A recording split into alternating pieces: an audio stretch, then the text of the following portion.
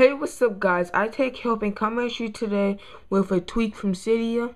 The name of this tweak is Twizzler, and this tweak allows you to get rid of the little trending topics at the top of your Twitter account from for the Twitter for iPhone and iPod Touch.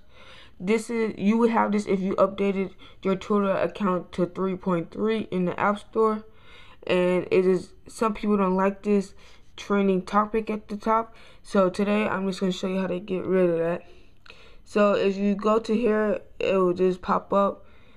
Me personally, I don't like this.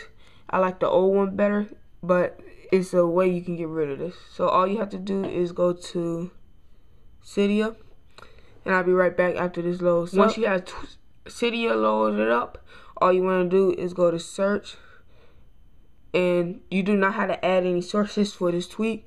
So good thing there. You just put in T W I and then Z Z and it'll pop up Twizzler for Twitter 3.3 and then you can just go ahead and install that and confirm I'll be right back after it's done. Okay, guys, once you have, once you re-spring your springboard and everything, and you get back to your Twitter account, you will see that the little trending topics thing will not be at the top of your Twitter, your timeline of your Twitter account no more.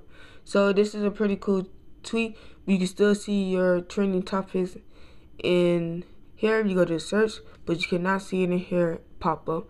So you like this tweet, don't forget to like this video. Don't forget to subscribe to me. And don't forget to follow me at my Twitter account, twitter.com slash. And yeah, that's it, guys. Bye.